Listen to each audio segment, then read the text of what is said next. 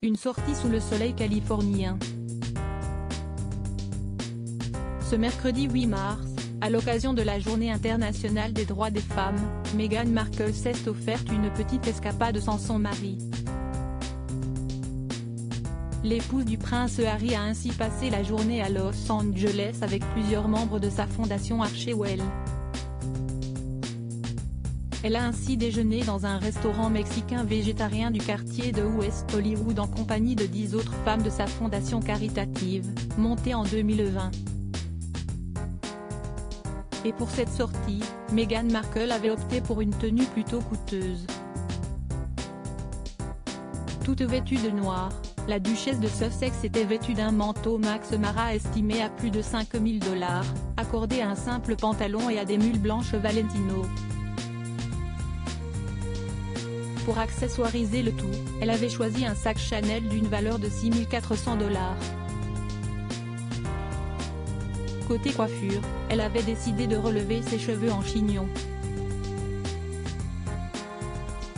Même absent, le prince Harry n'est jamais loin de sa femme selon une source présente dans le restaurant. Meghan Markle était assise au milieu de la table et a semblé passer un merveilleux moment. L'ancienne actrice a notamment été aperçue en train de rire aux éclats à plusieurs reprises. Et pour le repas, elle a évité de faire des excès car elle a commandé une salade composée. Elle semblait vraiment heureuse, a déclaré un autre client du restaurant auprès du magazine People. S'il n'était pas présent aux côtés de sa femme, le prince Harry avait tout de même souhaité participer au repas car si lui qui s'est occupé du dessert, en faisant livrer une douzaine de cupcakes au groupe.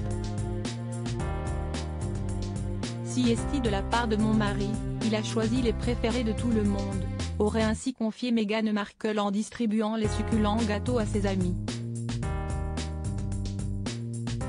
Au même moment, le fils du roi Charles III se trouvait à San Francisco pour participer à la réunion de la plateforme de coaching BetterUp, dont il fait partie du comité de direction depuis le mois de mars 2021.